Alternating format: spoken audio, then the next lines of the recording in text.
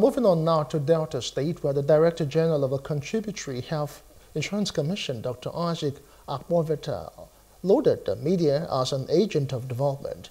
He noted that the state is determined to protect vulnerable populations, including pregnant women, children under five, and persons with disabilities. During a guided tour of the Commission's automated facility, Dr. Akpoveta shared that Delta State or shared that Delta State ranks first in the country in terms of health insurance coverage, with the capital city of Asaba leading the way.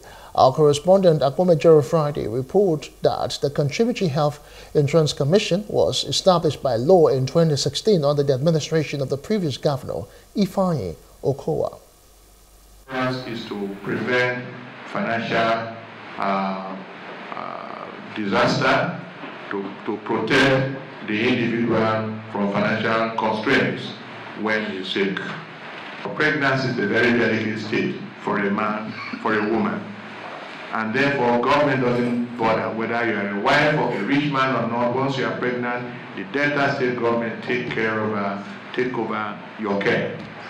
And from the day the child is born till the child is five years, the government is also paying for it. It's free to you, but no free food in Freetown, and the government is paying for that bill. I can tell you it's a very huge bill. They do not less than 300 every month in the state. Ash alone cover between 60 70 cesarean sections every month. Ash, as a specialist hospital. The government will treat every child every child that is zero to five years free of charge is huge bill. More than 2 million delta, growing to 2.4 million. Especially the vulnerable group.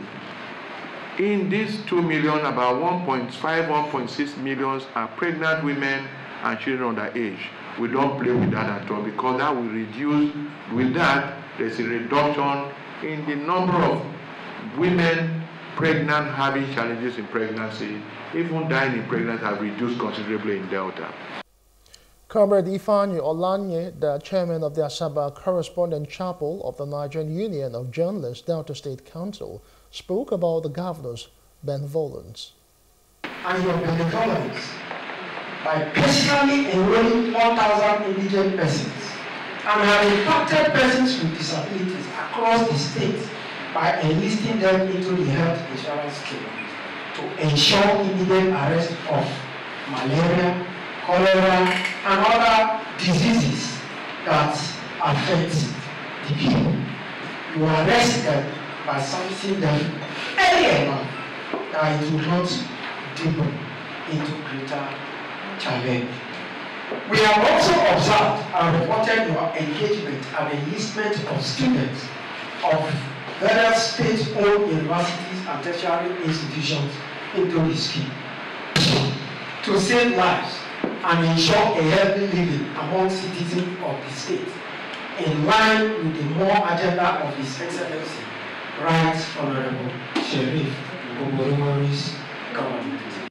Hello. Hope you enjoyed the news. Please do subscribe to our YouTube channel and don't forget to hit the notification button so you get notified about fresh news updates.